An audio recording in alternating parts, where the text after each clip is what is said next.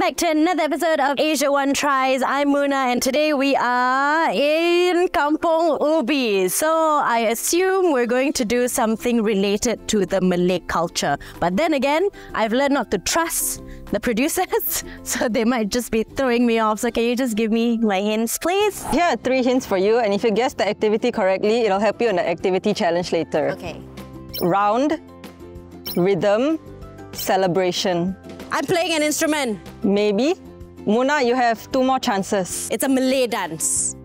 Yes? Munah, you have one more guess. Like Zapin or Zafin, oh, like because you go around, right? Unfortunately, you got it wrong. so the activity that you'll be trying today is learning how to play a kompang. I've actually played the kompang before, but not like professionally or trained. It's just I see a kompang and then like you just kind of like. So I'm very excited to learn properly. Let's go.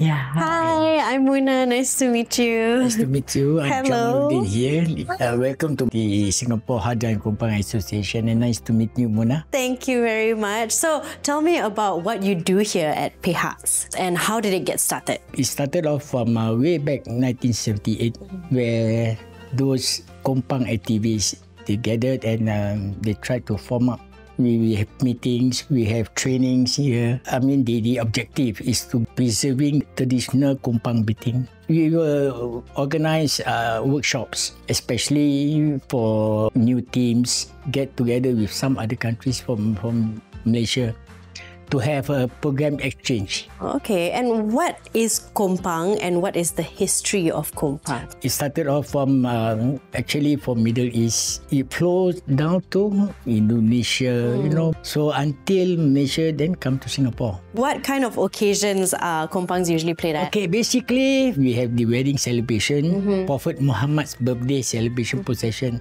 and even now we are involved in the Chingay procession. So events to celebrate and to create awareness about different Yes, cultures. well- Okay, Munah, would you like to try? Yes, I'm ready. Come.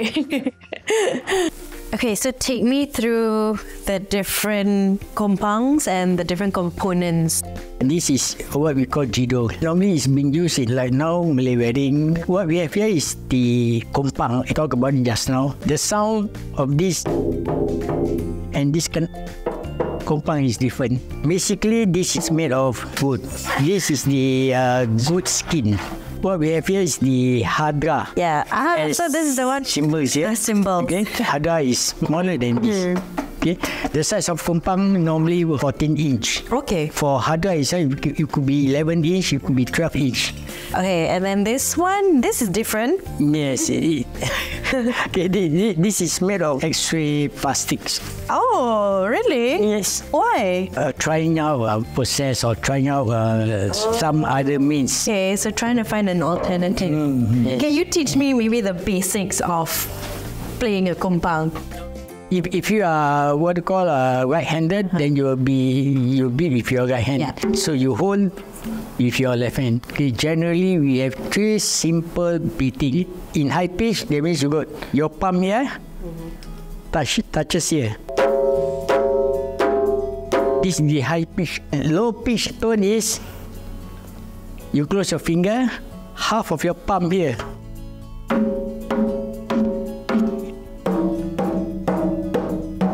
Okay, low pitch. Yes, So these are the different components of a whole kompang. correct. The, the basic. Can I watch a whole demonstration? Are you Okay. going to show me Yeah, that? sure, sure. Yes. Not. Bismillahi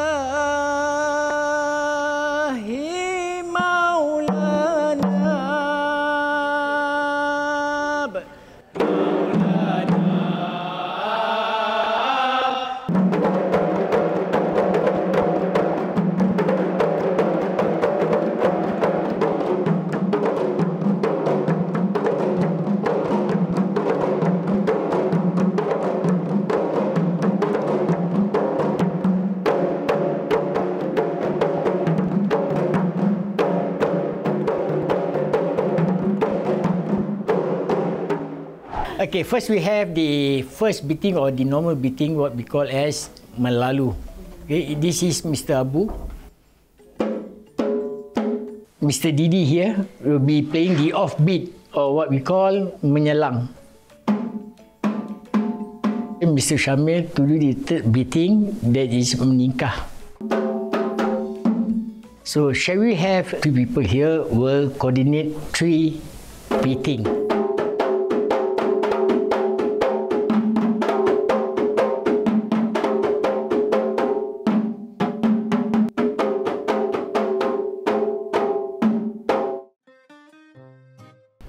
Are you ready to take your challenge? Yes, I think so. But which beat am I going to play? Since you guess the activity, Gongdi, mm. you will place Mr. Shamil in the rhythm beat. That's the most complicated one. Okay, then I think I will try my very best. All the best. Okay, Muna, you ready? Yes. Three, two, one.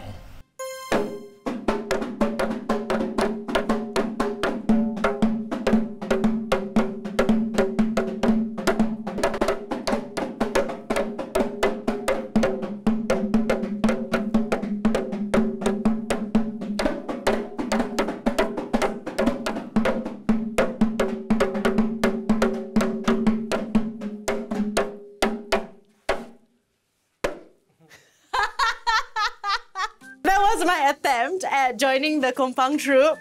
Tell me, on a scale of 1 to 10, what do you think?